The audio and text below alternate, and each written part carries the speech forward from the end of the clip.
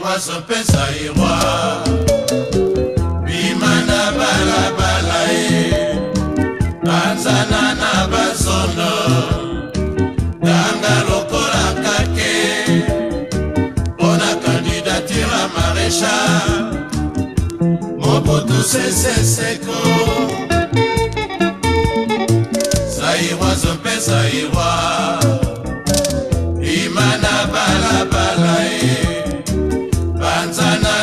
na bazono kanga lokola kake mpo na kandidature ya maréchal. Mobutu seseseko tozala sincere tozala franc. Hypocrisie toboy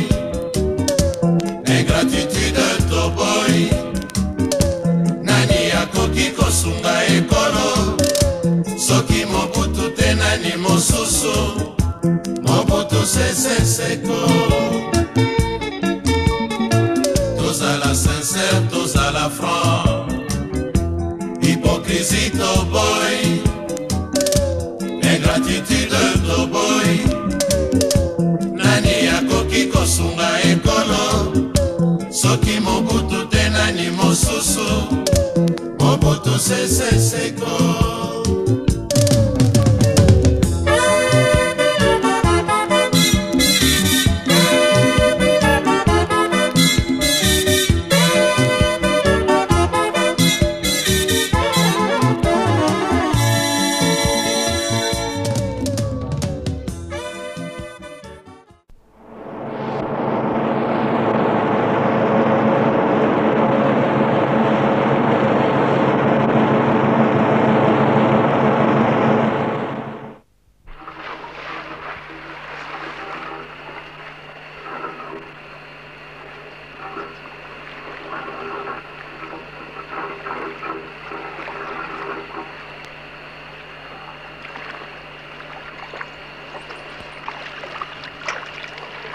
Imaginiez-vous que vous sortiriez ainsi, émergeriez ainsi de l'indépendance congolaise, mon général.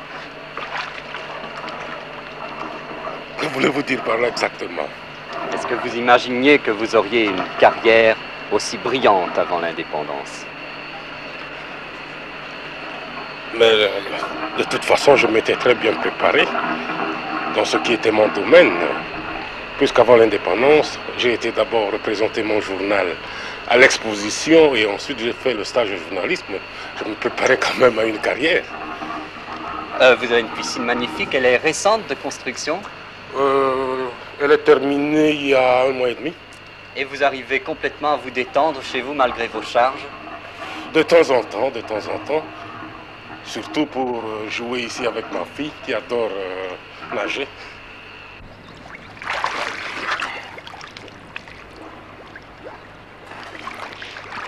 Voilà donc au petit matin du 18 novembre, le général Mobutu, nageant tout exprès pour la télévision, dirait-on, parfaitement décontracté, à six jours de son coup d'État.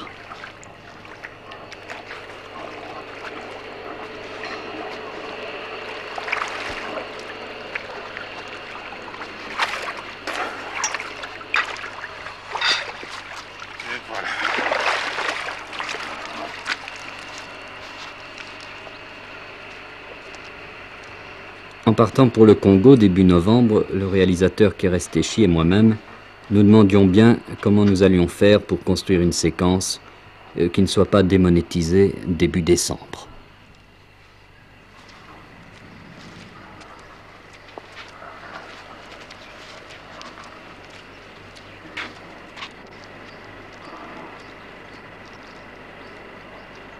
Une chose me paraissait certaine, au Congo, celui qui dispose du pouvoir au moment d'une campagne présidentielle euh, dispose par le fait même d'un atout important.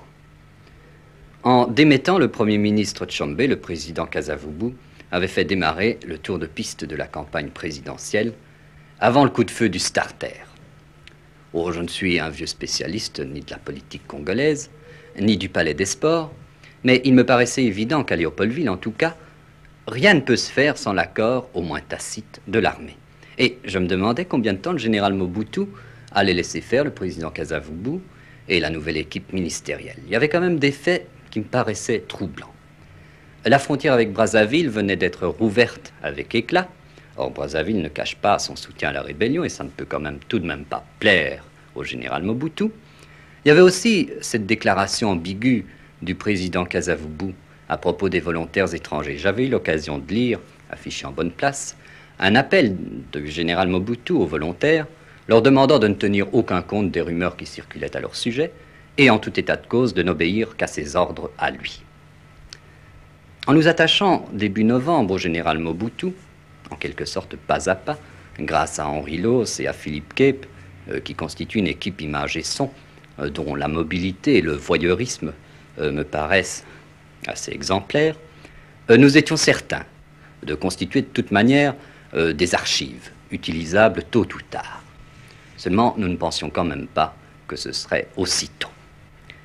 Voici donc les derniers jours avant le coup d'État.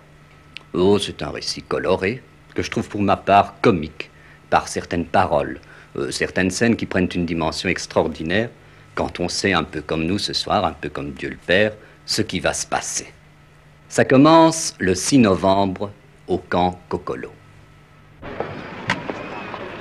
Madame, mes hommages, bonjour. Bonjour. Colonel, bonjour. Général.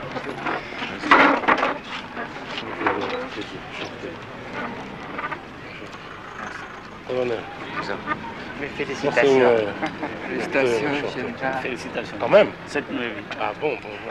ah, En tout ça, gloire, mes respects, mon général. Bonjour, enchanté. Félicitations, mon général. Félicitations, mon général. Enchanté.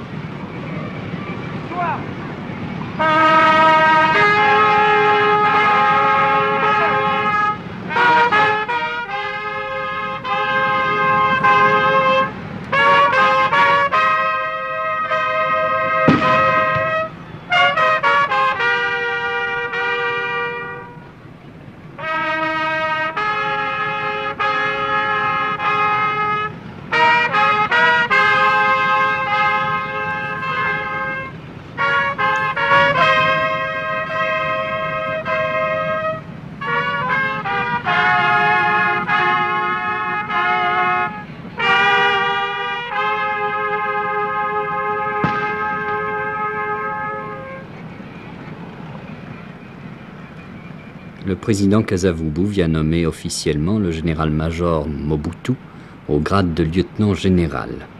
Ainsi, M. Kasavubu peut-il croire, gagner ou garder les faveurs du chef de l'armée nationale congolaise.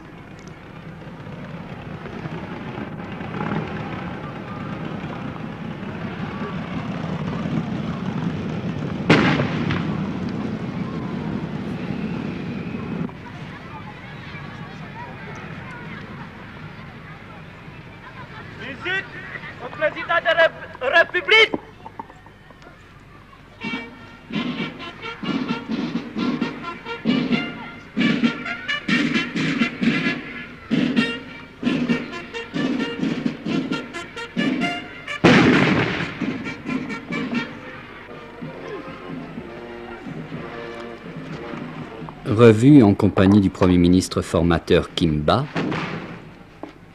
il y a donc désormais deux lieutenants généraux au Congo. Le haut-parleur du camp, vous allez l'entendre, est de temps en temps saturé. Ce n'est pas notre enregistreur parce que, pour rien au monde, nous n'aurions voulu gâcher, si peu que ce soit, un moment aussi historique.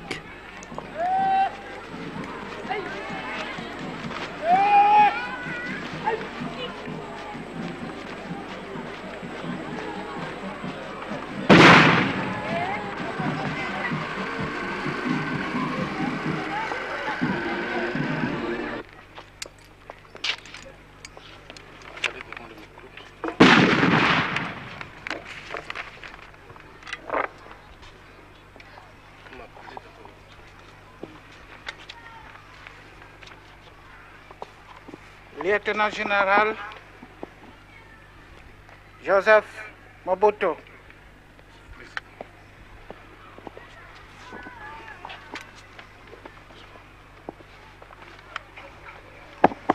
Par ordonnance numéro 400 du 3 novembre 1965, prise par nous, le commandant en chef de l'armée nationale congolaise, le général-major Mobutu, Joseph Désiré, ici présent, est nommé lieutenant général de l'armée nationale congolaise à la date du 1er janvier 1965. Généraux-major, colonel, lieutenant-colonel, major, capitaine, lieutenant, sous-lieutenant, sous-officier, caporaux et soldats de l'armée nationale congolaise. Comme nous, comme vous l'avez toujours fait dans le passé, continuez à lui obéir en tout ce qu'il vous commandera pour le bien du service et le respect de la discipline militaire.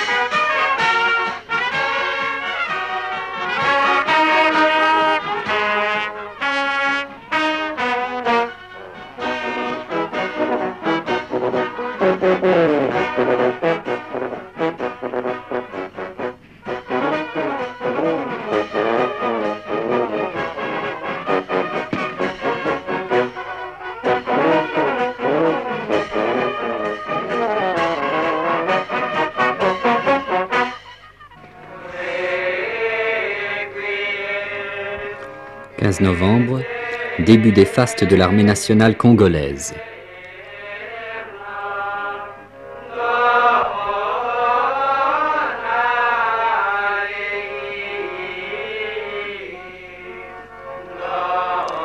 Requiem.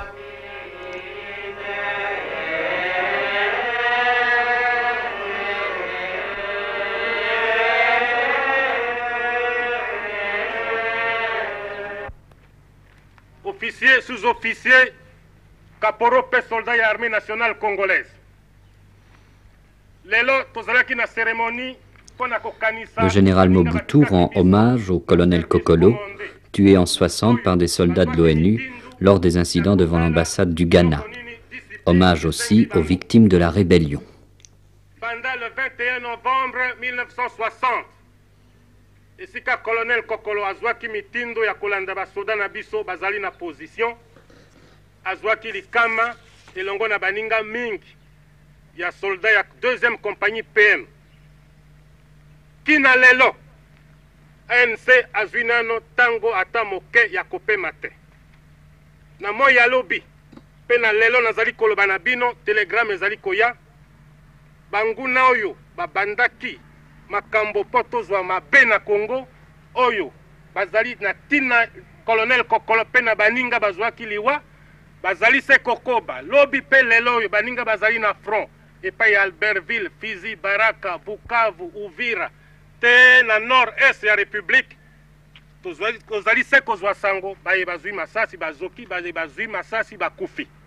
Mpe na nkombo ya banso tosengaki na président ya république chef suprême ya armée aya kodepose gerbe ya fleur oyo ezali se mpo na colonel kokolo te ezali mpo na bayebanso armée nationale abungisaki uta tozwaki indépendance na biso merci mingi présentez les armes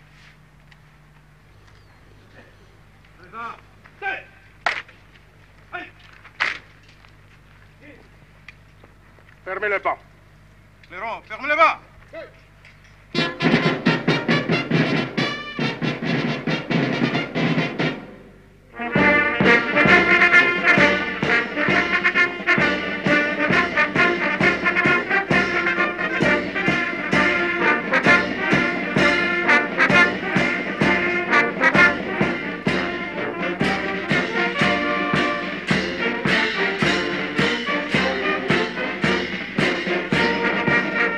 Et après la cérémonie, nous suivons le général Mobutu vers sa jolie résidence au bord des chutes du fleuve Congo, pour mieux le connaître sans doute, et aussi pour essayer de savoir ce qu'il compte faire. Nous sommes à neuf jours du coup d'État. C'est la pastorale, ça, mon général. Il y a, je crois, un orage là-dedans. C'est un peu correspondant au climat aujourd'hui à Léo. Euh, mon général, il y a une qualité qu'on vous reconnaît, c'est le courage moral et physique. Est-ce que vous avez eu parfois des motifs d'appréhension? Avez-vous eu des appréhensions? Des appréhensions, surtout pas, mais une fois.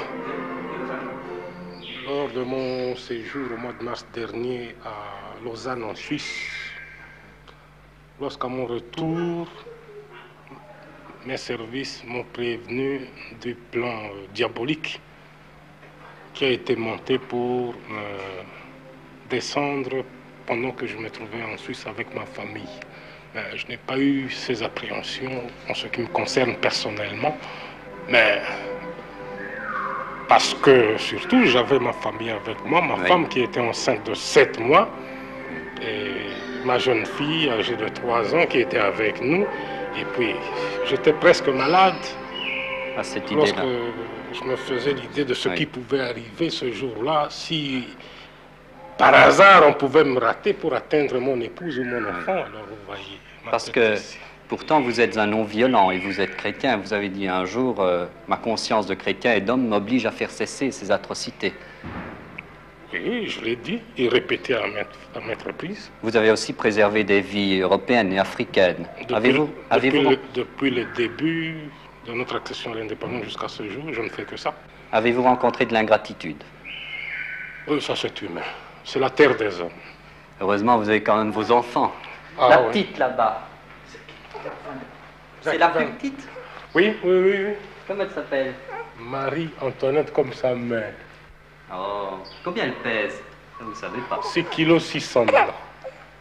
Hein Elle vous connaît Oh oui, très très peu. Euh, euh, euh, euh. Elle veut venir, non Viens. Vous voyez C'est pas votre seul enfant, vous en avez quand même. J'en ai six. Oh là. Trois garçons, trois filles. Bonjour.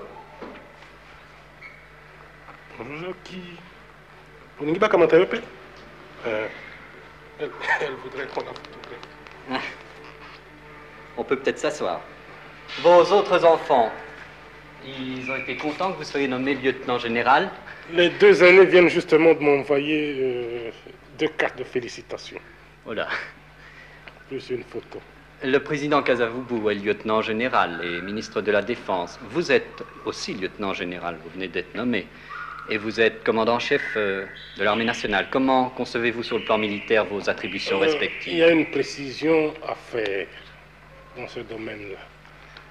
Je suis lieutenant général, mais le président de la République ne l'est plus depuis euh, l'existence des statuts des officiers et sous-officiers de l'armée nationale promulgués depuis le 1er janvier de cette année. Il a plutôt rang, je dirais, euh, de maréchal de- de- des forces armées congolaises, maréchal de la République, parce qu'il a six étoiles. Ah, moi, je suis lieutenant général. Le plafond, euh, en temps de paix pour l'armée nationale maintenant, c'est grade de général tout court, 4 étoiles. C'est ça. Et lorsqu'on commande en chef l'armée nationale en temps de guerre, on peut porter la cinquième étoile. Mais espérons qu'il n'y aura jamais de guerre. Donc vous êtes sous les ordres du président. Mhm.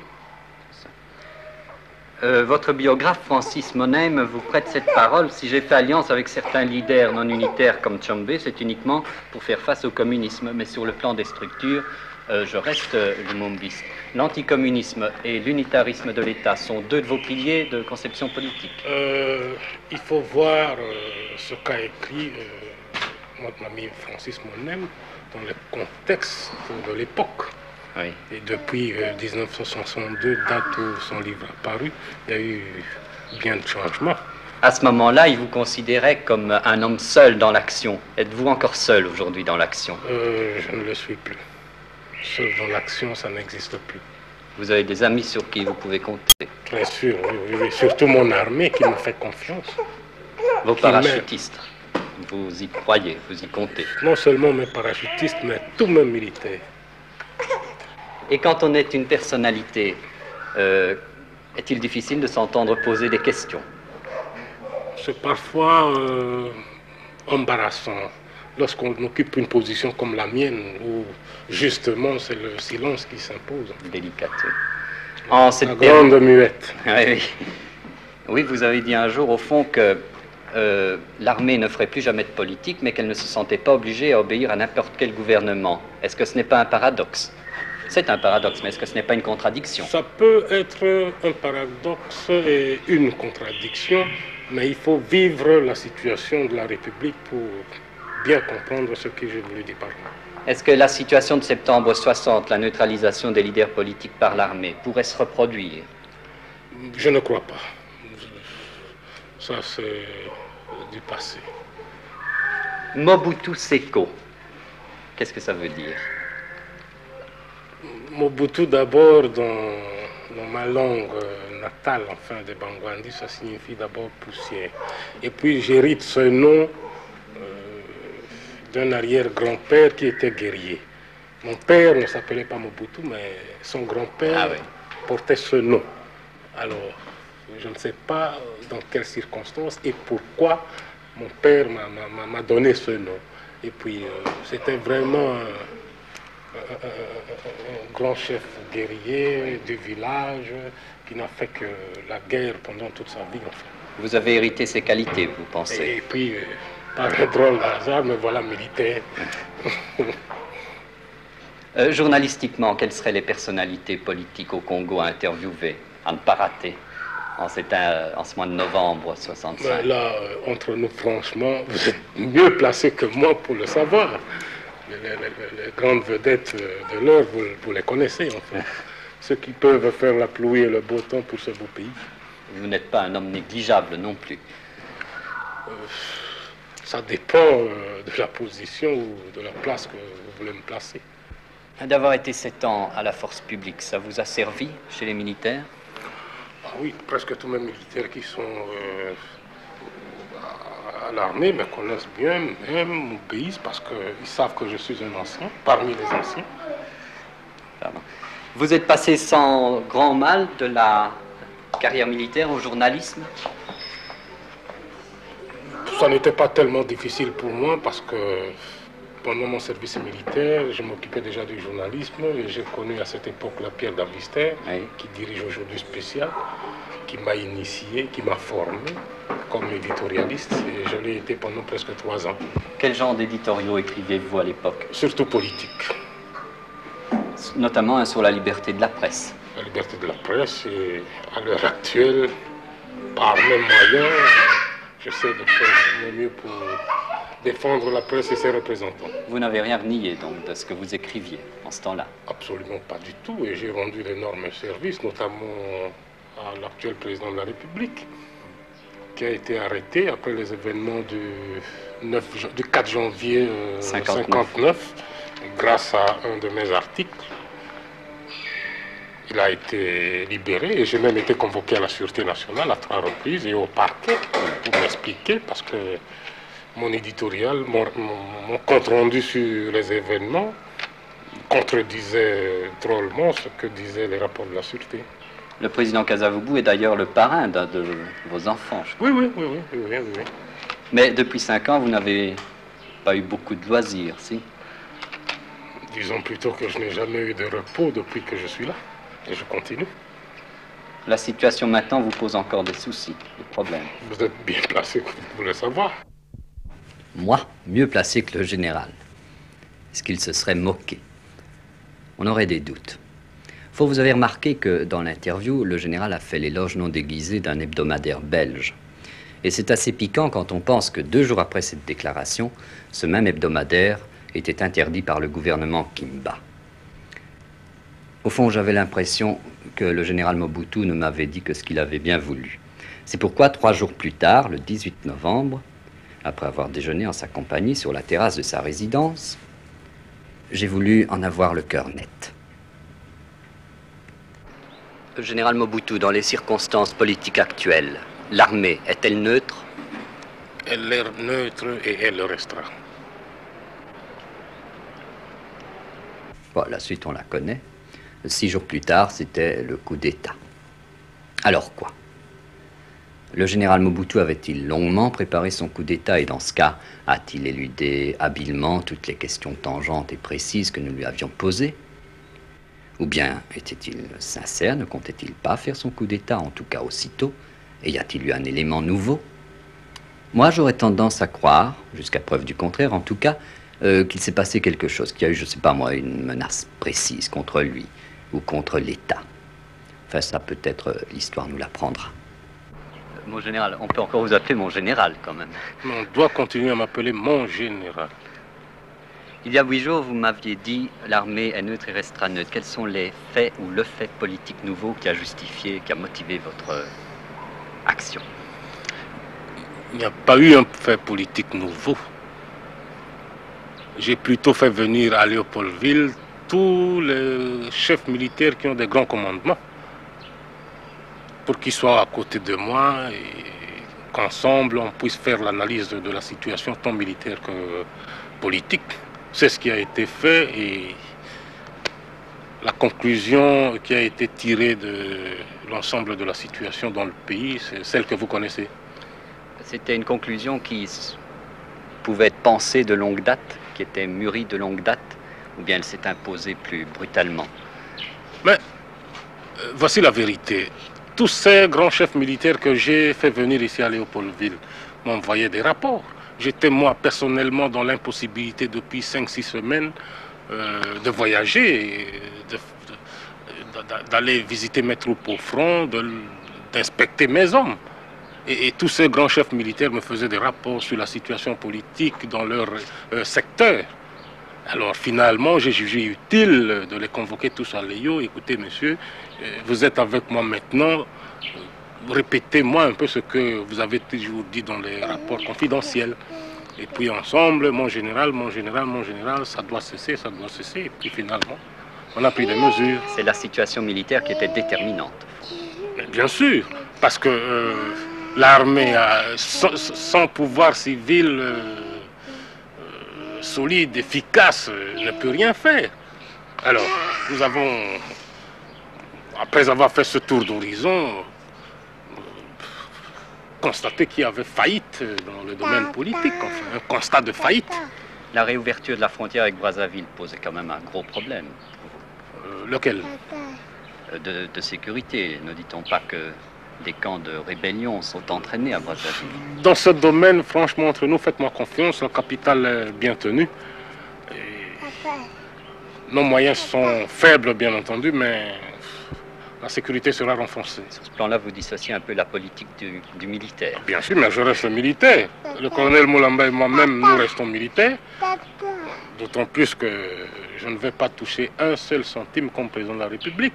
C'est mon traitement de lieutenant général de l'armée nationale que je continuerai à percevoir. Vous allez être président de la République pour cinq ans. Ça continuera pendant cinq ans. C'est absolument nécessaire selon vous pour quelles raisons pour les raisons, n'est-ce pas, que jusqu'ici, nous avons constaté, je dis nous, pas moi, c'est-à-dire euh, l'ensemble des chefs militaires, qu'il manquait de discipline euh, chez nos hommes politiques. Alors pendant cinq ans, nous allons imposer la discipline dans tous les domaines, politique, économique, financier. Vous rétablirez rapidement euh, la paix sur tout le territoire C'est la tâche à laquelle euh, nous allons être attelés. et vous aurez les mains plus libres que du temps des politiques. Mais bien sûr, j'ai toute mon armée avec moi. Tout est maintenant entre les mains, n'est-ce pas, du, du- du- du général Mobutu et de l'armée nationale. Et la discipline dans tous les domaines sera euh, instauré. Je ne sais pas si vous étiez hier à la séance du Congrès. Et nos amis euh, parlementaires ont compris, n'est-ce pas, que la discipline était nécessaire pour sauver le pays, pour faire quelque chose au moins pour ce pays. Ils coopéreront avec vous. Ben, cela a été promis et lors de la conférence de presse que j'ai tenue hier dans ma résidence ici, j'avais à mes côtés les deux présidents des deux chambres législatives. Merci beaucoup. Merci infiniment. Ah, mais c'est très bien. Jamais vu ça. T'es un petit diable, hein, hein T'es un petit diable. Elle ne sait jamais me quitter d'un seul. Mademoiselle Mobutu assure fort joliment les relations publiques de son père. Ben voilà, nous avions à peu près fait le tour, d'autant plus que je ne voulais pas m'aventurer à faire de lointaines hypothèses sur l'avenir du Congo. C'est dangereux au Congo. Mais il y avait quand même encore une question qui se posait. Les politiciens, une fois le premier moment de stupeur passé, allaient-ils accorder leur cœur à l'assentiment qu'ils avaient formulé du bout des lèvres Et singulièrement M. Tchombe, que pensait-il Eh bien, samedi dernier, avant même que soit connue la composition du nouveau gouvernement Moulamba, j'ai été l'interroger. Monsieur le Président, un petit point d'histoire, tout d'abord pour commencer, à propos de la phase déjà révolue de la formation du gouvernement Kimba. Euh, quels étaient vos problèmes à ce moment-là? Quelles étaient vos perspectives? Mais la situation était devenue complètement détériorée. Il n'y avait plus la possibilité de vivre. Vous avez vu, n'est-ce pas, que, que M. Kimba, en un mois, avait réussi à détruire tout ce que nous avons fait pendant 15 mois. Donc nous, vivions dans l'insécurité totale la situation économique du pays, tout le monde, que ce soit les étrangers et les Congolais, ça n'allait plus du tout. C'est pour cela que nous n'avons pas voulu approuver le gouvernement Kimba. Et qu'est-ce que vous comptiez faire? Quelles étaient vos cartes à ce moment-là? Mais nous avons condamné la politique du président Kazavubu. Nous étions certains qu'avec cette politique, le président Kazavubu mettait, euh, faisait sombrer le Congo. Votre sentiment à propos du coup d'État du général Mobutu? Mais c'était une mesure salutaire. Parce que si le général Mobutu n'avait pas fait ça, je crois probablement moi-même et quelques membres des les partisans de mon parti ne seront plus vivants. Quelle est la portée exacte de la déclaration que vous avez formulée au nom de la CONACO dans laquelle vous vous êtes réjoui du coup d'État? Oui, évidemment, moi-même et tous les membres de, la CONACO se sont régis parce que nous avons trouvé que c'était une mesure salutaire. Ensuite, on avait mis fin à cette dictature de Kazavubu. M. Kazavubu ne tenait plus compte de la légalité, ne tenait plus compte de la constitution. Il, il allait tout droit dans l'illégalité. Donc on ne peut pas euh, continuer à gouverner un pays en ne tenant pas compte de la justice. Cependant, le régime au Parlement change un peu. Or, vous disposez d'une confortable majorité. Cela vous ennuie-t-il? Évidemment, pour le moment, nous allons essayer de faire tout pour aider le général Mobutu, parce qu'il est décidé de mettre l'ordre au Congo. Nous sommes décidés aussi de l'aider. Il a pris le pouvoir pour cinq ans. Évidemment, il a pris le pouvoir pour cinq ans. Nous allons tâcher de l'aider pour qu'il réussisse dans l'intérêt de tout le monde. Vous estimez que cinq ans étaient nécessaires Oh, il faut, dans une certaine mesure, qu'il n'y ait pas tout, tout, le temps les changements des gouvernements, des autorités comme ça. Vous comptez participer au prochain gouvernement? Nous avons mis euh, nos hommes, il y a beaucoup de membres de la CONACO, d'ailleurs ils sont majoritaires dans ces gouvernements. Et vous-même? Moi je resterai en dehors. Quel rôle vous réservez-vous pour l'avenir? Ben, Nous appuyons la position prise par euh, le général Mobutu. Nous allons tâcher de l'aider dans la mesure du possible pour établir surtout l'ordre et puis par après nous verrons ce qu'il faudrait faire. Mais nous continuons à lutter pour aider ces pays à en sortir. Le rôle d'un parti politique comme la CONACO va-t-il encore être important euh, dans les prochains oh, mois? Certainement, ce rôle. La CONACO est appelé à jouer un rôle très important pour euh, éclairer le général Mobutu, pour éclairer les membres du gouvernement qui sont nos membres d'ailleurs. Un rôle consultatif ou un rôle de pouvoir réel, pensez-vous? C'est le rôle comme tous les partis politiques du monde. Pas? Il y a un chef, il y a le comité central, il y a les comités provinciaux et tout ça, ensemble, nous devons essayer d'aider le général Mobutu.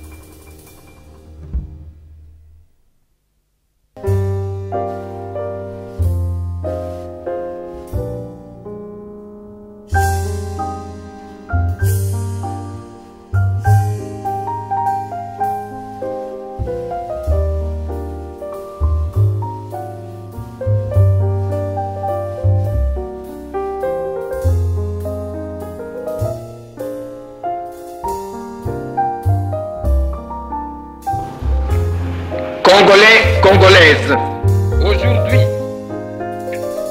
je suis encore plus écœuré et dégoûté de certains de mes frères congolais. Honte aux unités de l'Uluabour qui ont brutalisé et violé. Honte à celles qui pillent à Albertville.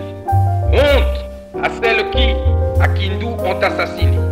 Là ne sont pas les tâches d'une armée qui se veut digne. Dans les trois villes que je viens de citer, elle sème le désordre. Elle se conduit comme un ramassis de mutins et d'inconscients.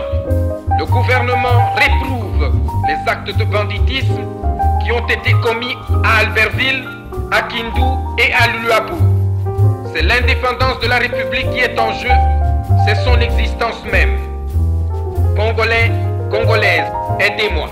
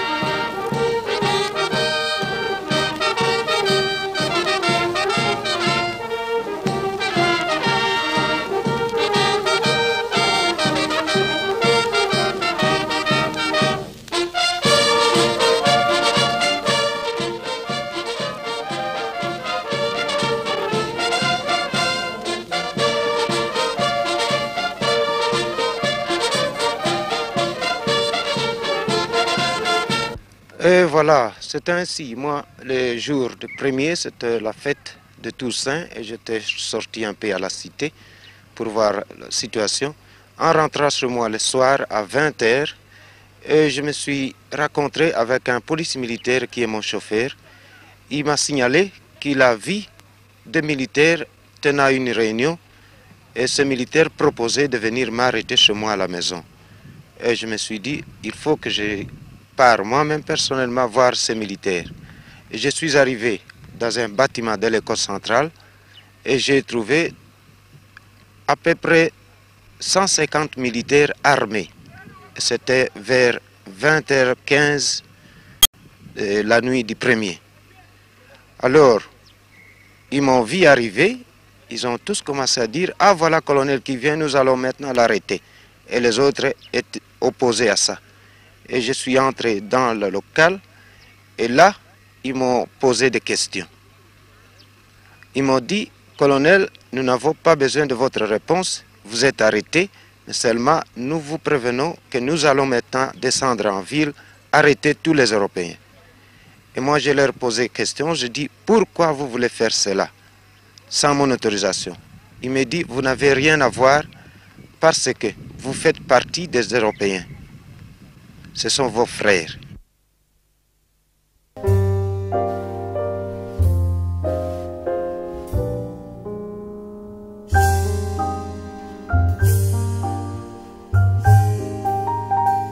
Est-il exact qu'un Européen du BCK ait téléphoné au Katanga communiquant des renseignements? Oui, cet Européen a été arrêté par quelques militaires et il a passé un jour au cachot du camp. Le matin, je lui ai questionné et il m'a dit que c'est vrai, il avait donné euh, le bilan de ses voitures de train pour donner exact le charge de chaque voiture. Et dans ces voitures, il y avait un bataillon que moi j'ai envoyé pour une mission aux frontières. Alors il a communiqué cela à Kamina. Et ce train a été bombardé? Ce train a été bombardé après le débarquement de nos militaires.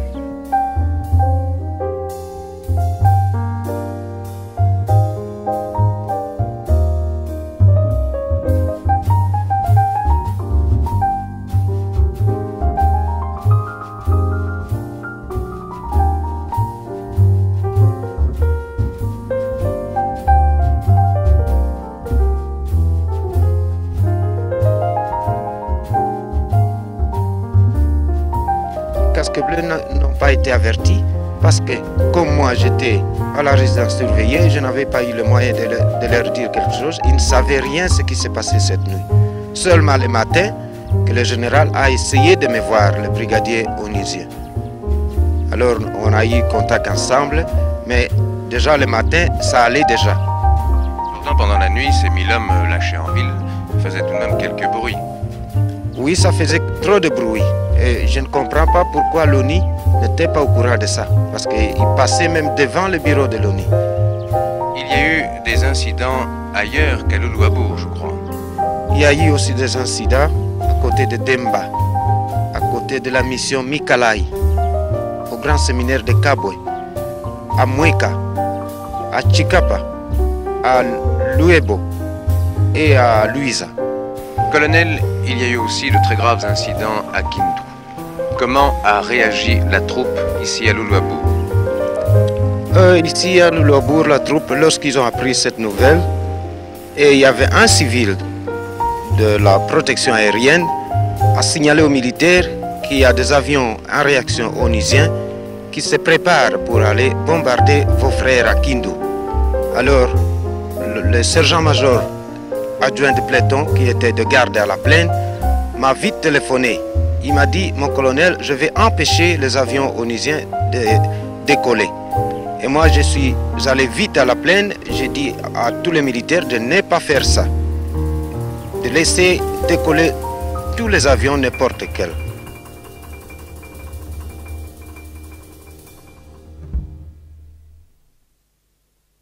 Je crois que les Européens ont posé certaines conditions pour rester ici à Loulouabourg.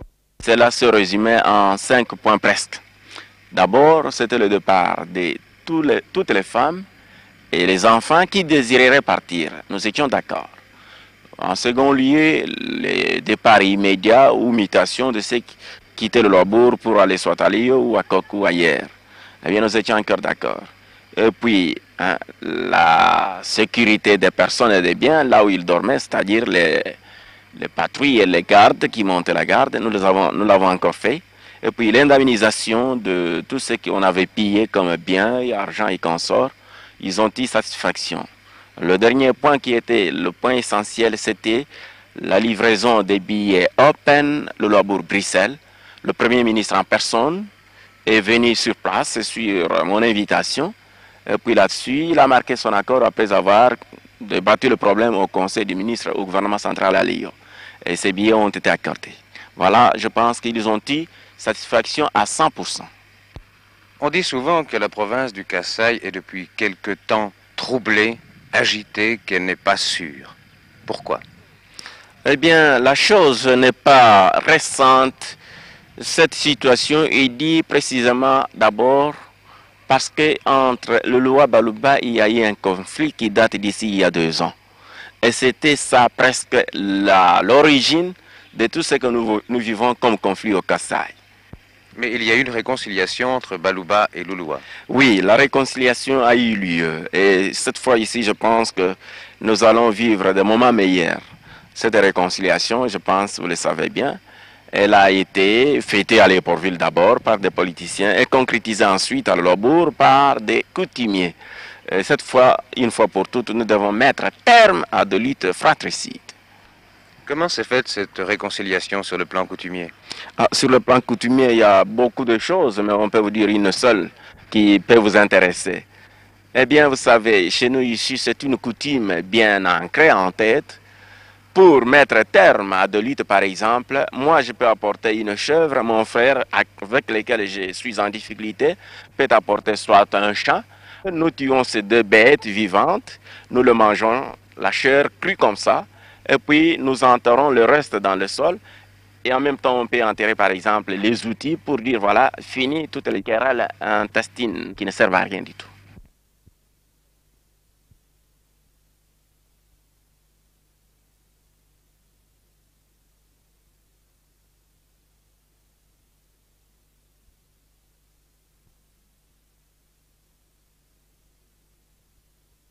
Croyez-vous qu'il soit encore possible à l'heure actuelle qu'un accord intervienne entre Léopoldville et Elisabethville Ma politique en tant que commandant-chef de l'ANC a été, depuis le début jusqu'à aujourd'hui, la suivante.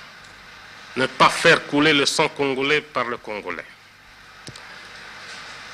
D'un autre côté, comme je voyais que le président Tchombe était, comme moi, anticommuniste, qu'avec Tchombe, il y avait moyen de faire quelque chose. Je m'étais peut-être trompé au début, mais je croyais, n'est-ce pas, à sa loyauté. J'ai voulu marcher avec Tchombe jusqu'à prêter le flanc à la critique. Lorsque finalement j'ai vu, n'est-ce pas, que je me suis fait rouler par Tchombe, j'ai pris euh, mes dispositions et je ne me ferai plus rouler par Tchombe. Croyez-vous en l'avenir du Congo? Ça, j'imagine. Mais pensez-vous que la situation puisse être redressée, normalisée d'ici relativement peu de temps? Je suis sûr. Et croyez-moi, n'est-ce pas, que le Congo sortira euh, dans les mois à venir du chaos.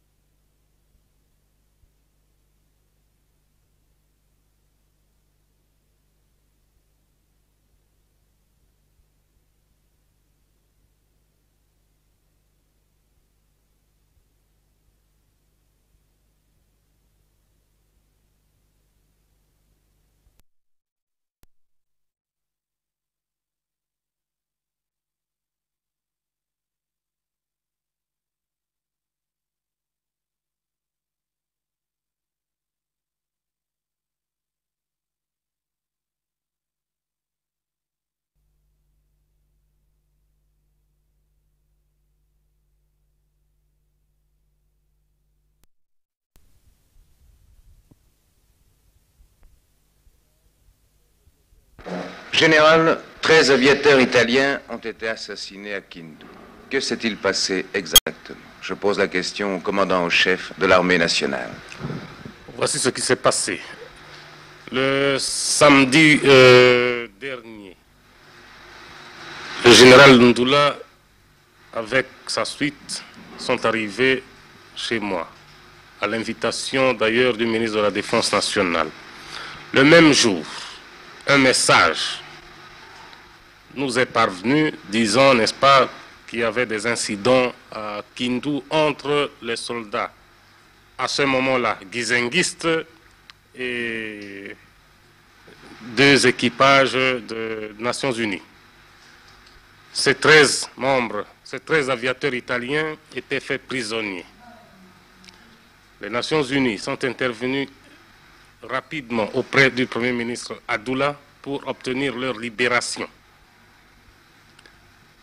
Il y a au Congo, comme vous le savez très bien, trois grandes divisions au point de vue militaire. Les Mobutistes, comme on le dit toujours, qui sont dans trois provinces, dans les trois provinces pardon, de l'Équateur, de Léopoldville et du Kassai. Les Gizenguistes, donc sous le commandement du général Lundula, dans la province orientale et celle du Kivu, et les soldats du, de Tchombe, donc la gendarmerie katangaise.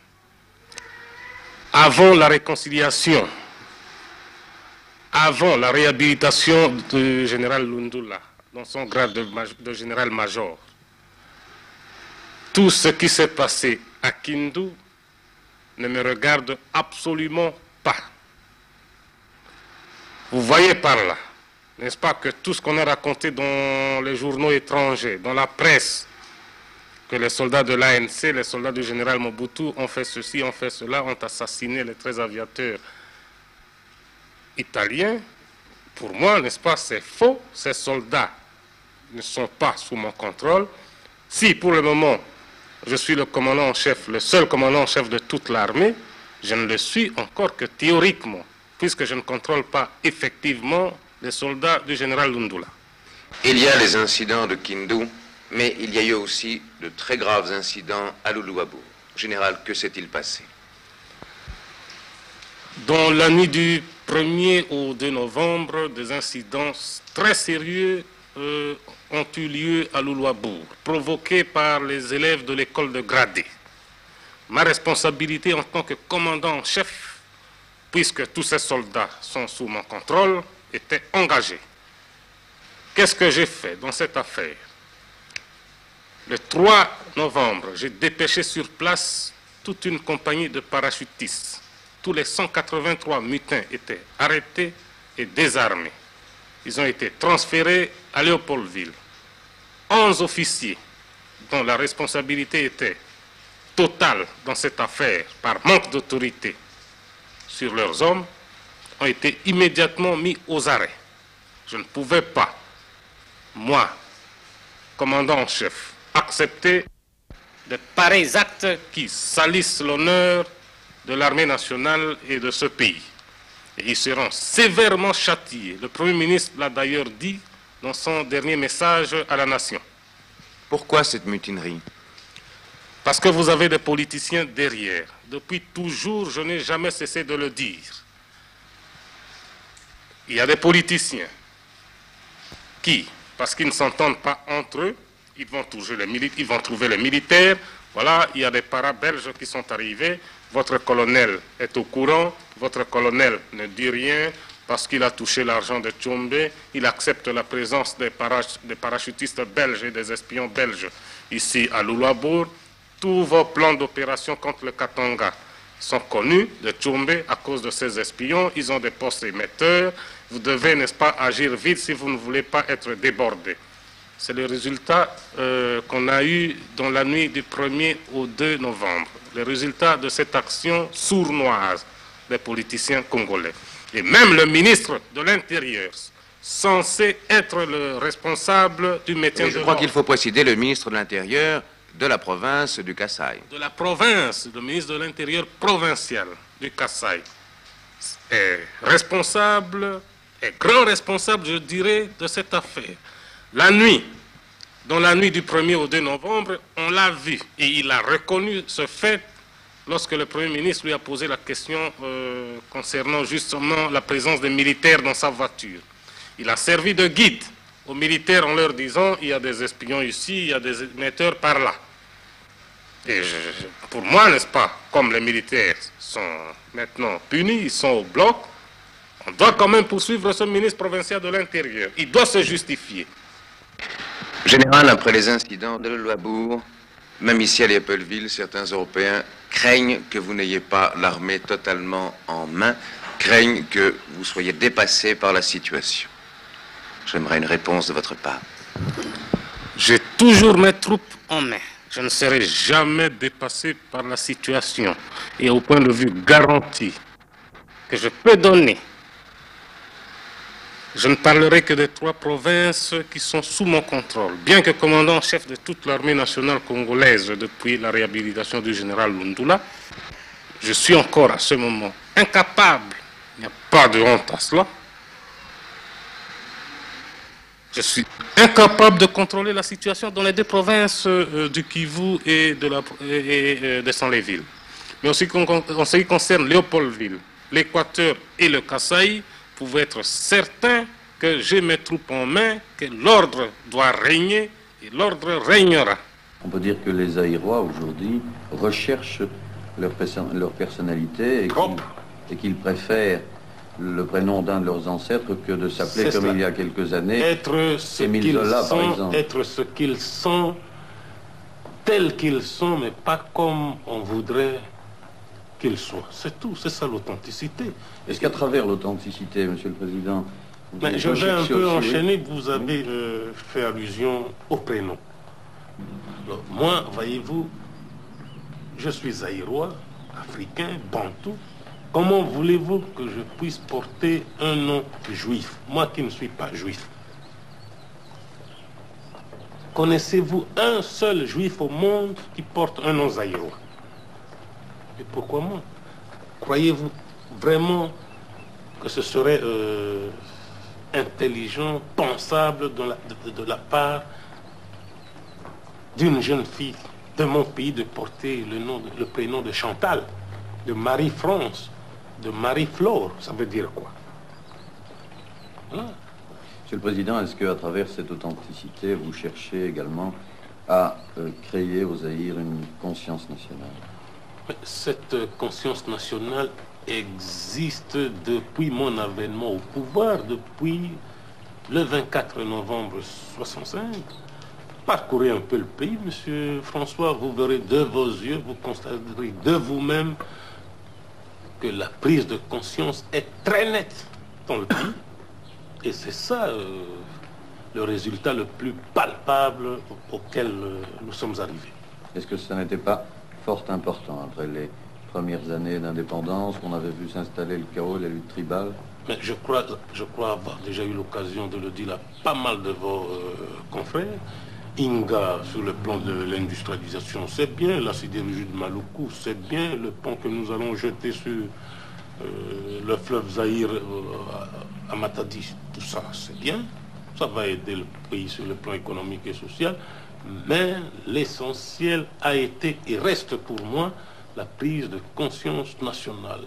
Euh, cet orgueil national qu'on trouve chez n'importe qui parmi mes concitoyens, c'est ça qui compte pour moi. Qui nous a appris la corruption? Je crois que c'est vous autres.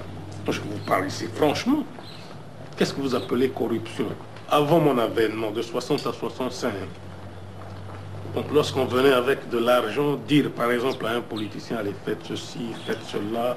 Lorsqu'on va chez un militaire, allez, prenez l'argent, il faut renverser boutons, il faut provoquer des troubles. Tchombe, s'il a été à la base de la corruption, pardon, de la sécession, c'est parce qu'on l'avait corrompu. Ça, ça, ce n'est pas un mal, une, nouvelle invention euh, du Zaïre. Donc, c'est de l'importation.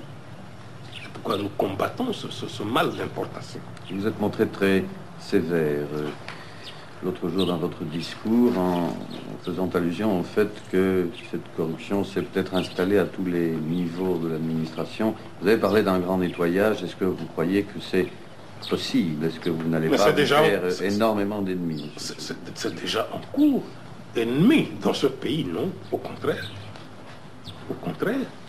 Le chef ne peut pas tenir deux langages. Un langage pour épater la foule et un langage euh, pour faire plaisir aux amis et tout ça. Mais les ennemis, à partir du moment où ils ne sont pas dans le peuple, à partir du moment où le peuple est saint, c'est ça. Ça suffit en fond. Mais pour réaliser ce grand nettoyage, entre guillemets, il vous faut une, une discipline très grande de la part de votre peuple et on aborde alors le, le problème politique que vous avez d'ailleurs aussi abordé dans votre discours. Depuis euh, 1967, le Zaïre connaît un parti unique, c'est le régime du parti unique. Un parti national. Un parti national. Euh, certains diront que ça ne laisse pas le choix entre plusieurs partis. D'autres diront que c'est une formule qui est la plus valable pour euh, instaurer la stabilité politique au Zaïre. Qu'est-ce que vous dites pour défendre Et entre nous, franchement, Monsieur François, voilà. Maintenant, en le disant, vous péchez vous-même. C'est un péché contre l'authenticité. Parce que, autant me dire à moi, tant que vous n'aurez pas autant de partis politiques comme en Belgique, bon, euh, ce n'est pas de la démocratie. C'est ça. Mais comment voulez-vous que je puisse, moi, Zaïrois, agir en belge Moi qui ne suis pas belge, moi qui ne suis pas français. Comment voulez-vous un seul instant que je puisse jouer aux penseurs belges, aux penseurs euh, anglo-saxons, français? Je ne suis pas anglo-saxon, je ne suis pas euh, belge, je ne suis pas français ni italien, je suis zaïrois. Mais vous êtes, vous autres, un monde d'opposition. C'est c'est dans l'opposition que vous- essayez toujours de trouver la vérité. Mais par contre, nous, Zaïrois, nous sommes plutôt un monde de juxtaposition. Nous sommes pour le dialogue. Et puis le chef chez nous, ça ne se discute pas. Vous nous avez colonisés. Citez-moi un seul village. Et Dieu seul sait si on a des millions. Un seul village où il y a deux chefs. Un seul village où on vous dira, voilà, au milieu, la grande maison, c'est la maison du chef de la majorité. Au bout du village, c'est le leader de l'opposition. Ça n'existe pas. Ça n'existe pas. Ce n'est pas dans nos traditions. Deux chefs. Je l'ai dit dans mon discours. Deux têtes sur un seul corps, c'est déjà un monstre pour nous. C'est un luxe que dont on ne veut pas ici au Zaïre. Le chef d'abord, ça ne se dispute même pas. Maintenant que je suis là, maintenant que tout mon peuple est derrière moi, pas parce qu'on court derrière avec des mitrailleuses, applaudissez, criez Mobutu, non. Parce que ce peuple a pris conscience de ses responsabilités. Ce peuple a compris qu'il lui fallait son unité, qu'il lui fallait l'union de tous les enfants de ce pays, l'union de tous les cœurs, un engagement formel d'être un dans une seule même nation, dans une seule famille. Maintenant, ah, ça ne va pas, ah, dictature, culte de la paix. Mais quel culte? Ça, c'est le, Bantou. C'est la façon du Bantou de glorifier son chef. Il n'y a pas de culte ici. On ne court pas derrière qui que ce soit, applaudissez, allez, vous n'avez pas crié fort. Non, au contraire, il est fier de son chef comme le frère, le chef est fier de son peuple, c'est tout. Peur de qui, monsieur François? Peur de quoi? Peur de l'avenir, peur de la charge des responsabilités qu'il prend, Lorsqu'on a, peur des jaloux peut-être aussi. lorsqu'on a un peuple comme le mien, on s'en fout du reste. Je dis un peuple comme le mien. Parce que au moindre geste, ce peuple sera debout comme un seul pour se ranger derrière moi et, qu'on avance dans la bataille. Alors avec ça, je ne peux pas avoir peur. Au point. Le président Mobutu convoque la presse belge à Kinshasa. Une presse qu'il utilisera désormais selon les besoins, comme sa bête noire ou comme son porte-voix. Le danger pour les relations belgo-congolaises, c'est ce groupe de pression. Il y a des messieurs qui, qui- qui croient qu'avec leur titre de noblesse, ils, ils peuvent faire du Congo ce qu'ils veulent, ce qui n'est pas vrai. Nous sommes là pour leur démontrer le contraire. Oh oui, mais c'est trop connu, je ne vous apprends rien. Vous êtes belge, mon cher ami. Il y a un lobby là-bas. Il y a un lobby. Mon cher, qui a monté l'affaire de la sécession katongaise Ce sont des Belges. Je ne vous apprends rien ici. Et tout ce que j'ai voulu, n'est-ce pas, en vous faisant venir au Congo, à Kinshasa d'abord, au Katanga et dans le reste du pays ensuite, c'est pour que vous puissiez voir et entendre.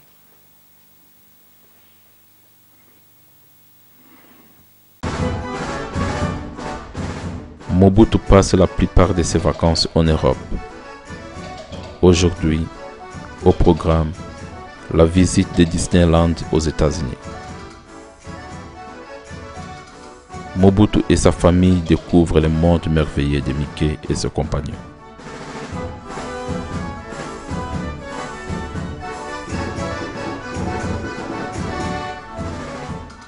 Dans ces grands parcs d'attractions qui réunissent les familles dispersées, Mobutu apprend à connaître sa fille, à témoigner de la tendresse à son fils. C'est le moment des au revoir à l'aéroport de Genève. Mobutu et sa femme Marie-Antoinette rentrent au Zaïre.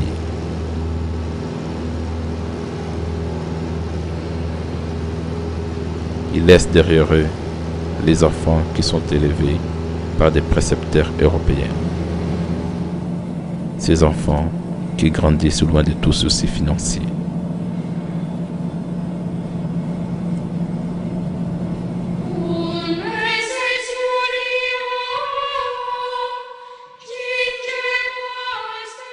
Mobutu éduque ses enfants dans la croyance chrétienne catholique. Kinshasa, à l'église Sacré-Cœur de Kalina, la fille de Mobutu, Marie-Antoinette, prend sa première communion en présence de sa maman. Son papa n'est pas présent à la cérémonie.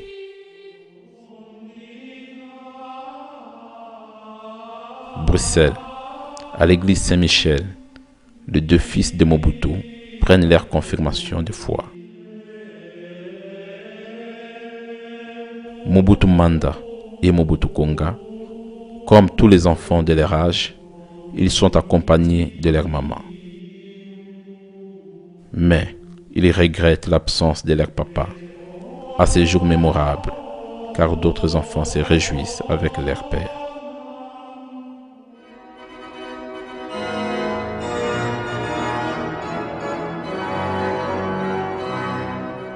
Abidjan, en Côte d'Ivoire.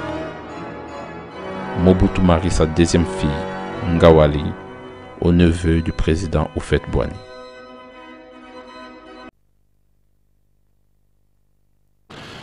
Même dans l'affaire du Shabbat, on ne pouvait pas parler de crise. Pourquoi? Parce que voici ce qui s'est passé en Angola. L'Angola avait trompé euh, certaines puissances dont je tairai volontairement le nom en disant ça va mal aux Zaïre, il suffit d'une petite action, et ben, le régime s'écroule comme un château de cartes. Eh c'est le contraire qu'on a vu. Vous avez suivi depuis votre pays, la Belgique, l'unanimité de mon peuple dans l'action autour du chef de l'État. J'ai quitté pendant 35 jours mon pays pour le Shabbat. Je me suis installé là-bas jusqu'à la fin. J'ai conduit le, combat jusqu'à la fin. Eh bien, pour le malheur qui m'est arrivé, j'étais absent du pays pendant 34 jours. Je me trouvais au, chevet de mon épouse. Et puis, le, le peuple l'a senti, le peuple est resté solidaire de son chef jusqu'à mon retour avec le corps de mon épouse. Donc, on ne peut parler ni de crise de régime, ni de crise politique. On ne peut même pas parler de crise économique. Il y a, il y a des difficultés conjoncturelles d'ordre économique, c'est tout. Et puis, avec toutes les solutions que j'ai préconisées, nous allons euh, juguler le mal et puis reprendre le dessus. Nous sommes. J'ai même vu dans la presse belge qu'on a parlé, euh, on a même inventé une expression, le Zaïre était à genoux. Nous ne sommes pas un pays. Le Zaïre ne peut pas être à genoux. Nous ne sommes pas dans le peloton de tête même, connaissant passagèrement des difficultés d'ordre économique et financier, c'est tout. Voilà tout.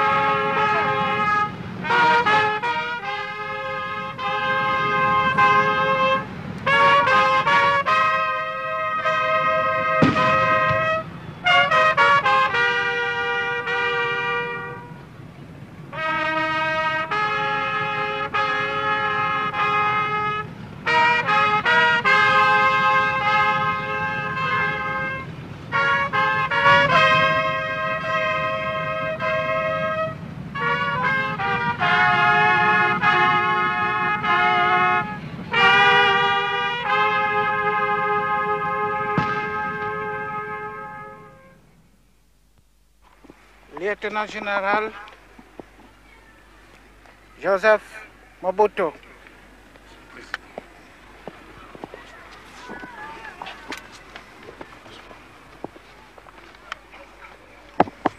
Par ordonnance numéro 400 du 3 novembre 1965, prise par nous, le commandant en chef de l'armée nationale congolaise, le général-major Mobutu, Joseph Désiré, ici présent, est nommé lieutenant général de l'armée nationale congolaise à la date du 1er janvier 1965.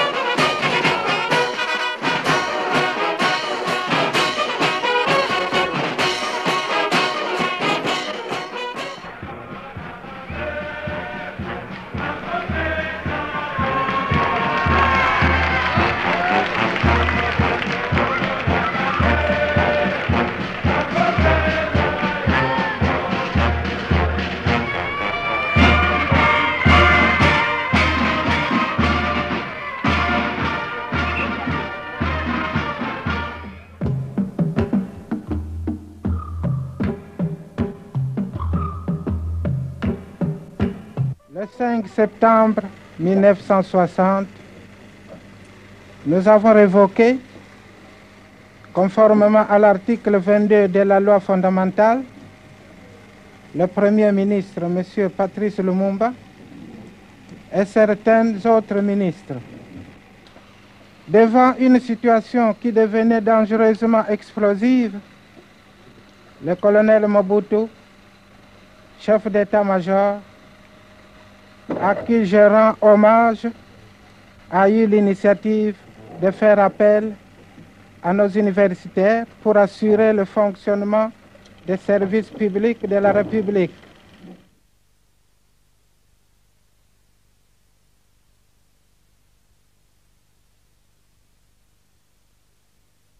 J'ai été contacté, M. Kassavoukou et Lumumba, pour voir, n'est-ce pas, quelle était la position de chacun. Croyez-vous à une réconciliation prochaine? Moi, je suis franchement pour la réconciliation. Au besoin, l'armée l'imposera.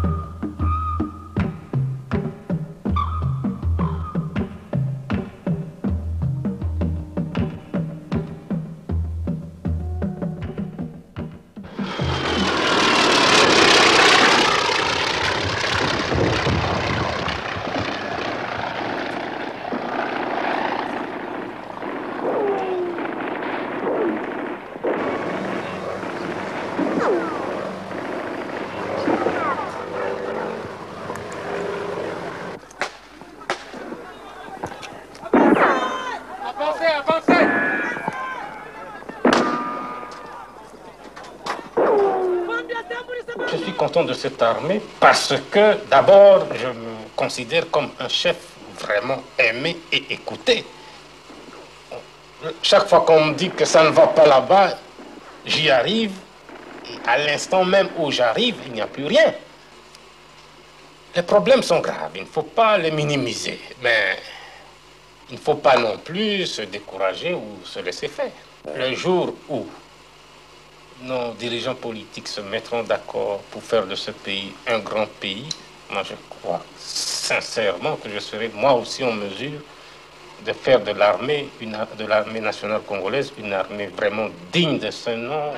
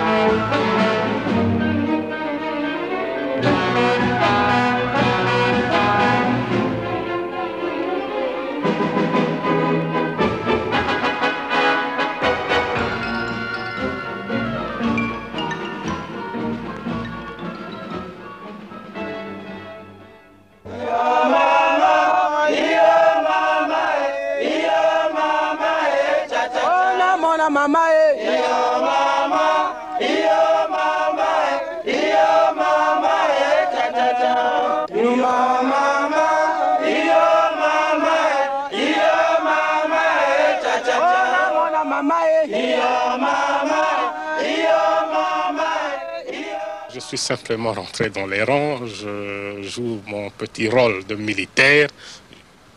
Le général Mobutu et son armée sont à l'entière disposition du gouvernement central.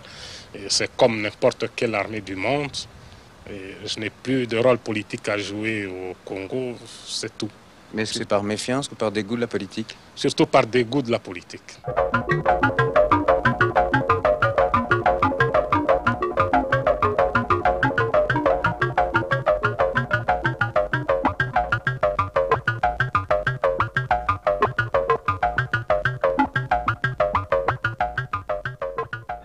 Nous avons constaté, je dis nous, pas moi, c'est-à-dire l'ensemble des chefs militaires, qu'il manquait de discipline chez nos hommes politiques. Alors pendant cinq ans, nous allons imposer la discipline dans tous les domaines, politiques, économiques, financiers. Vous rétablirez rapidement euh, la paix sur tout le territoire C'est la tâche à laquelle euh, nous allons être attelés. Et vous aurez les mains plus libres que du temps des politiques Mais bien sûr, j'ai toute mon armée avec moi. Tout est maintenant entre les mains, n'est-ce pas, du, général Mobutu et de l'armée nationale. Et la discipline dans tous les domaines sera euh, instaurée.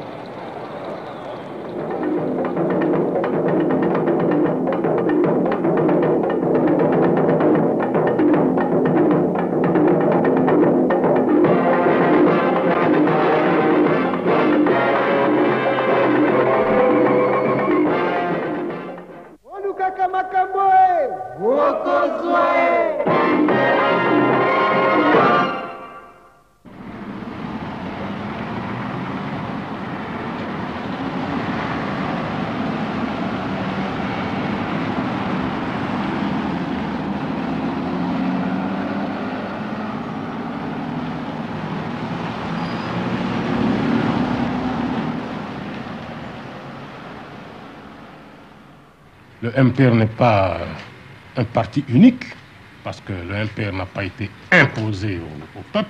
Nous sommes plutôt le parti national de la République démocratique du Congo, deux choses tout à fait différentes. Le peuple en veut ainsi. Les dirigeants étaient presque dépassés. Le peuple ne voulait rien savoir, mais plus rien savoir euh, de tout ce qui est opposition.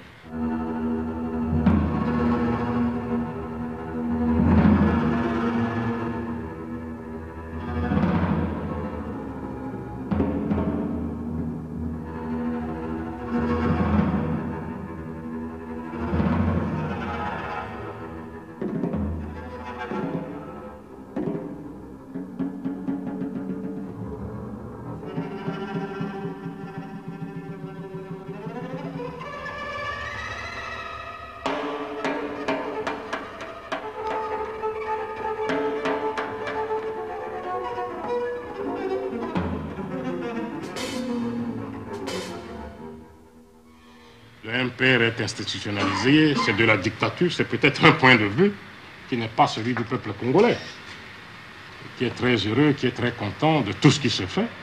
Ce n'est pas encore parfait, je le souligne une nouvelle fois, je le répète, ça ne sera jamais parfait un jour, mais tout ce que nous tenons, c'est de rendre ce peuple heureux, c'est de permettre à ce peuple de vivre dans la paix, dans la stabilité, dans l'ordre, dans la discipline. C'est tout.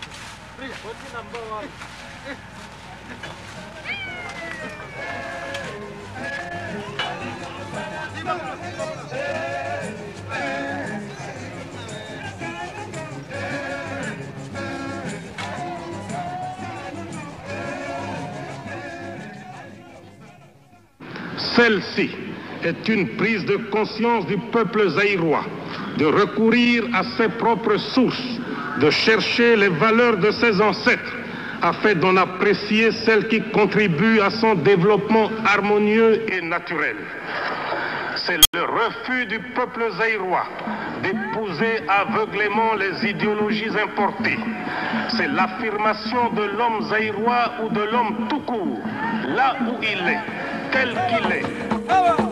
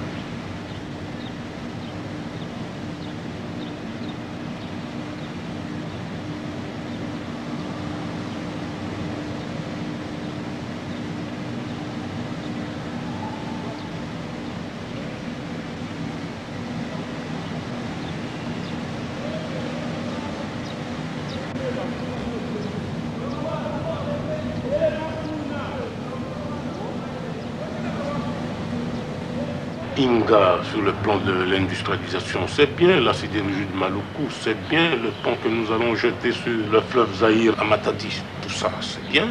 Ça va aider le pays sur le plan économique et social. Mais l'essentiel a été et reste pour moi la prise de conscience nationale. Euh, Cet orgueil national qu'on trouve chez n'importe qui parmi mes concitoyens, c'est ça qui compte pour moi.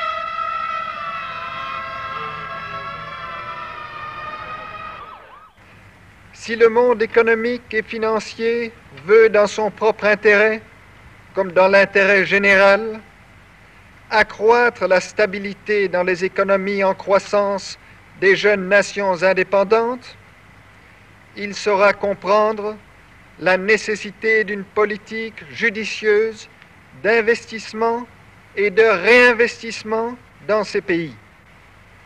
Il peut en revanche légitimement demander les garanties nécessaires pour mener à bien cette action. Le Code des investissements, promulgué par la République démocratique du Congo, a été un pas important dans cette voie.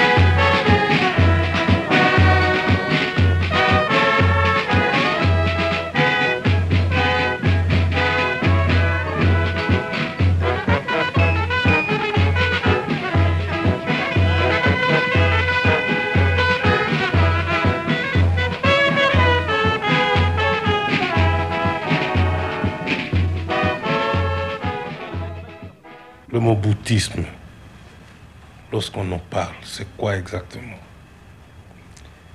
C'est l'ensemble de tout ce que j'ai prêché depuis le début de mon action, depuis la date historique du 24 novembre 1965. Et ça, ça se résume en ceci. Les enseignements, la pensée et l'action du président fondateur du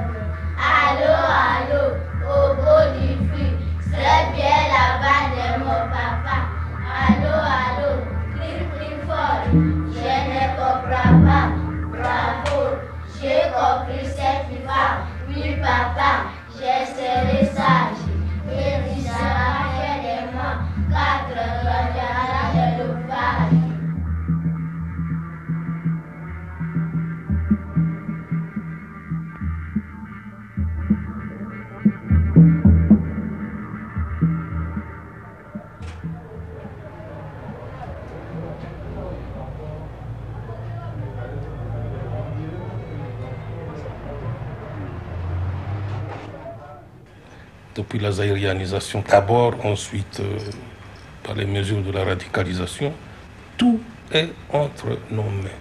C'est-à-dire, en clair, que nous maîtrisons notre économie. Nous sommes maîtres euh, du sol et du sous-sol de nos ancêtres.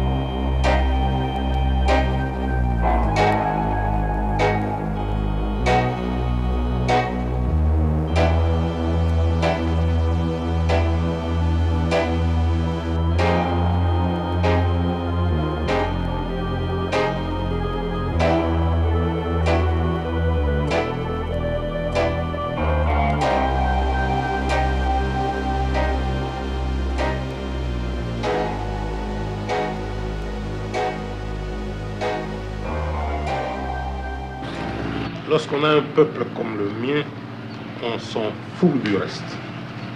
Je dis un peuple comme le mien. Parce que au moindre geste, ce peuple sera debout comme un seul pour se ranger derrière moi et, qu'on avance dans la bataille. Alors avec ça, je ne peux pas avoir peur. Mobutu, c'est l'affaire de tout le monde. Et c'est ça la force de Mobutu. On ne peut pas avoir peur de qui que ce soit ou de quoi que ce soit.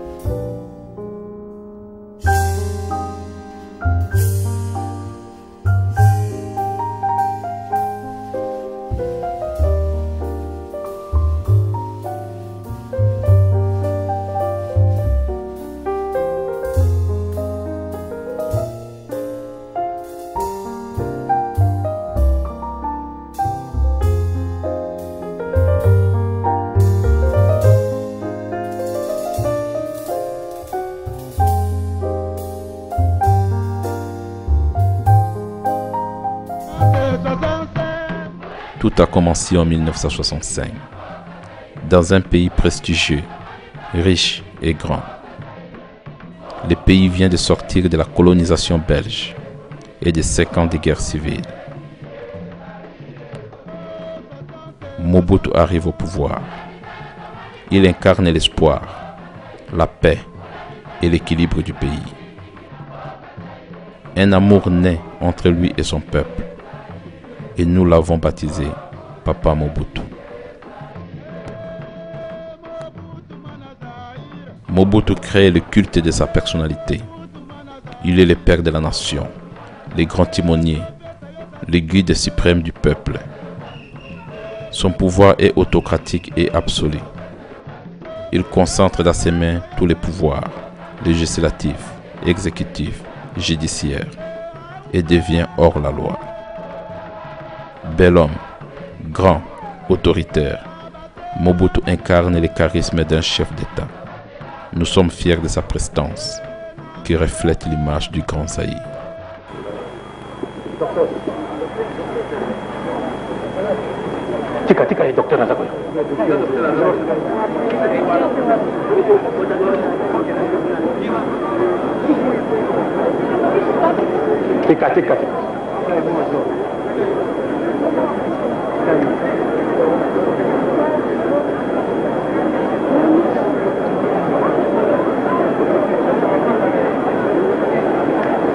nyenye munganga si asimbi kokonga botya motema be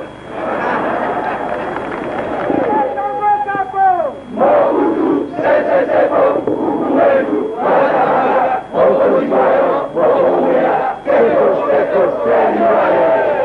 Mobutu Sese qui est aussi appelé le guide.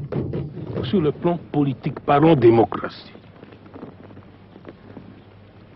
Ça ne va pas dans un pays africain parce qu'il y a un parti unique ou un parti national, comme c'est le cas au Zaïre. Tout simplement parce que on n'a pas copié l'Occident, où vous avez les partis de gauche, les partis du centre, les partis de droite, les conservateurs, les centres droits, centre gauche. Qu'est-ce que ça veut dire pour un Africain? Centre gauche, centre droit, radical de gauche, radical socialiste, radical, ça ne veut rien dire pour un Africain authentique. Et je le suis. Allez dans n'importe quel village africain. Je ne dis pas du Zaïre, mais africain. Il n'y a jamais eu, je dis bien qu'il n'y a jamais eu un seul village avec le leader de la majorité au centre du village, le leader de la euh, minorité, de l'opposition à gauche et tout ça. Eh bien, nous ne sommes pas, nous Africains, un monde d'opposition. Nous sommes un monde de juxtaposition.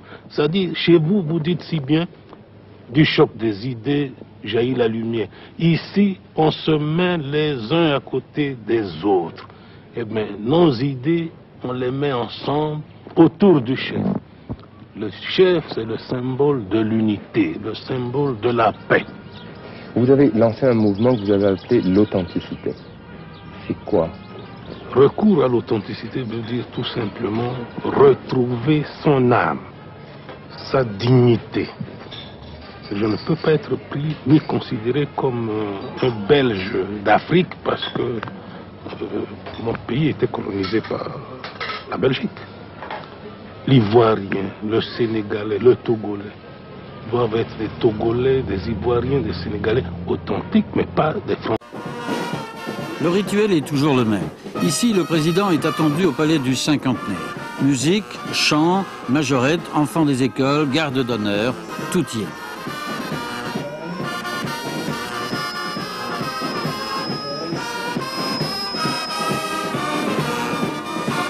Les invités arrivent, ils représentent tous les groupes de la population, groupes sociaux, mais aussi les ethnies, les tribus, les religions, et la plupart sont très discrets.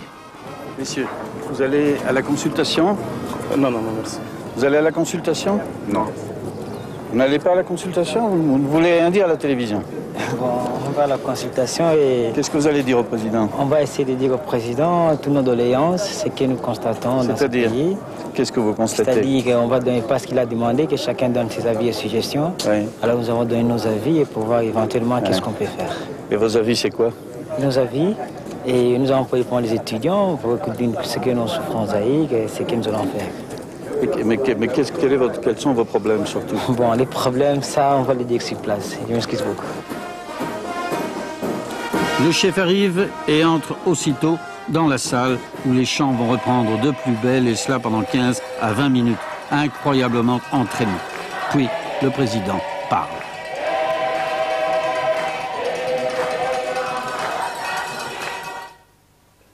De quoi s'agit-il?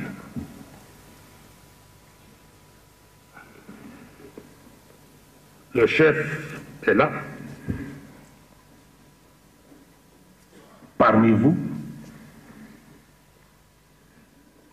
il va expliquer, expliciter davantage ce qu'il entend par la consultation populaire qu'il a initiée. Il poursuit alors en lingala pour rappeler qu'il ne s'agit pas uniquement de critiquer, mais aussi de faire des suggestions. Après le dépouillement, il faudra faire la synthèse et réfléchir. Réflexion, il faut réfléchir.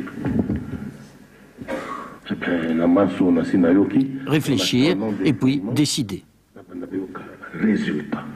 Comme vous l'aurez voulu, comme vous l'aurez souhaité. Le débat est lancé, le président se retire et laisse la place au ministre Mokolo, responsable de cette consultation populaire. C'est lui qui, assis dans un autre fauteuil, cela va de soi, va rassembler les plaintes, les suggestions, les textes. Le chef est parti. Les majorettes vont enfin pouvoir se reposer. Jamais fatigué? Non, non, Combien de temps tu danses comme ça? Non, non. Combien de temps tu danses Dans deux heures du temps. Deux heures de temps. Quel âge tu as J'ai 18 ans. La consultation est aujourd'hui terminée, d'où question qu'en sortir Dans le nouveau paysage politique zaïrois, quel sera le nouveau rôle du chef? Le chef de l'État est au-dessus des partis politiques. Il sera l'arbitre, mieux l'ultime recours. Avec la révision constitutionnelle, le chef cesse d'être le chef de l'exécutif.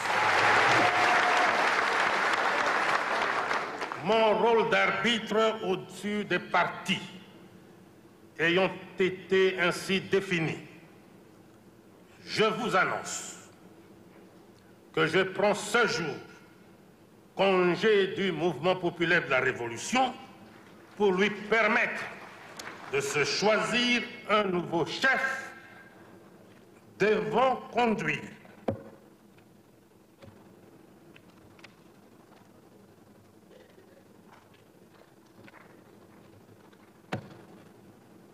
Comprenez mon émotion.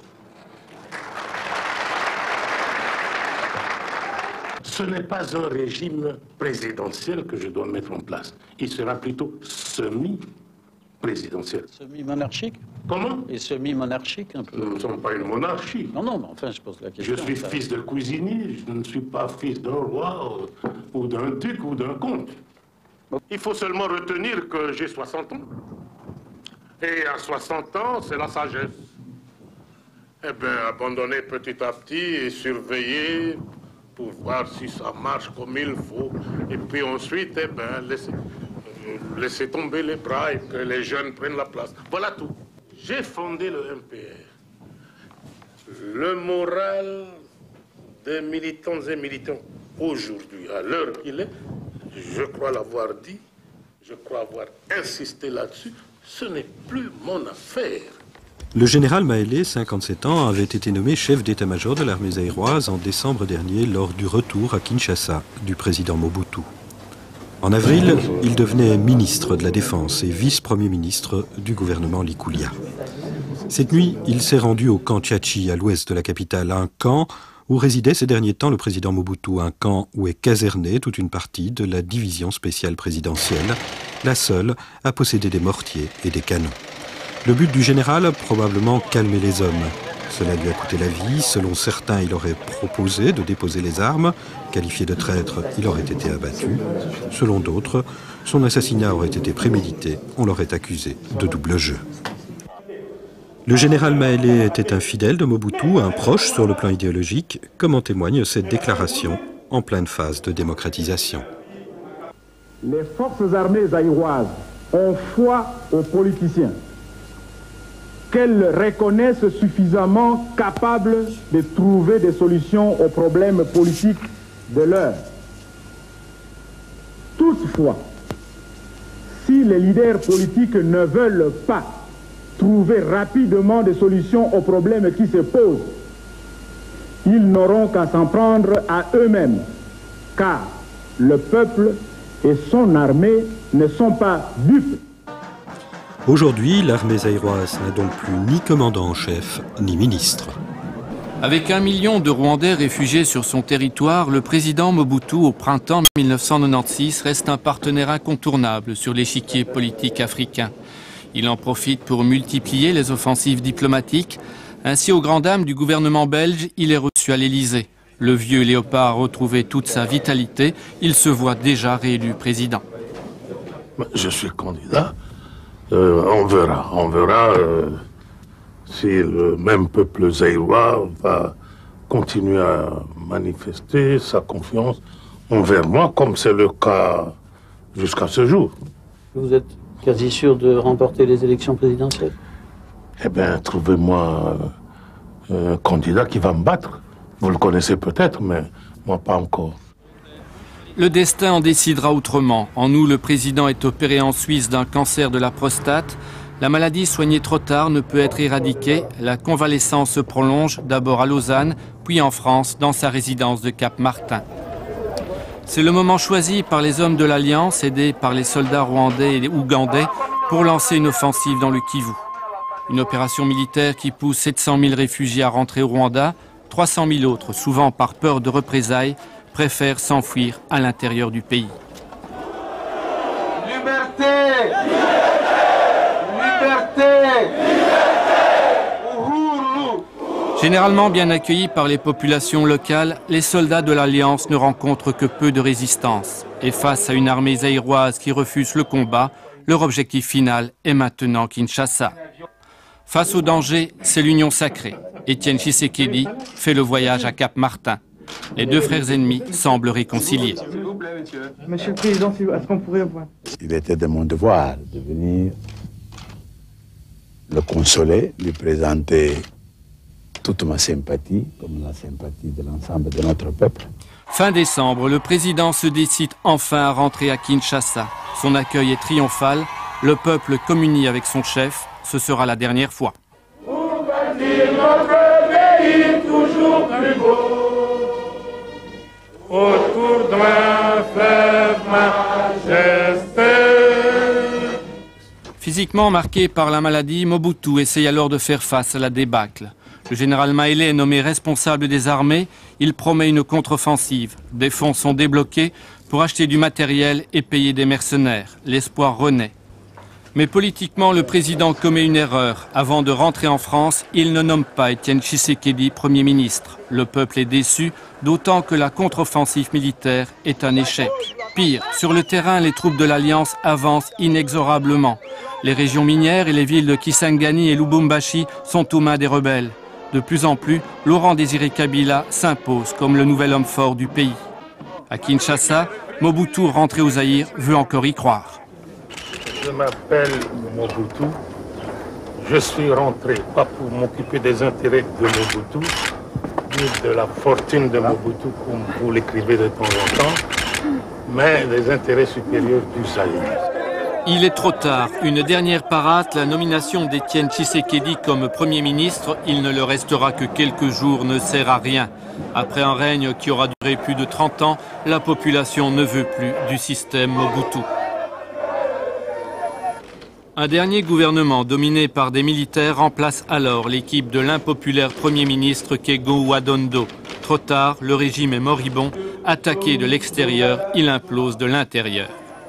Pour éviter le pire, les Occidentaux envoient des troupes juste de l'autre côté du fleuve, au Congo-Brazza. Officiellement, elles sont là pour protéger leurs ressortissants.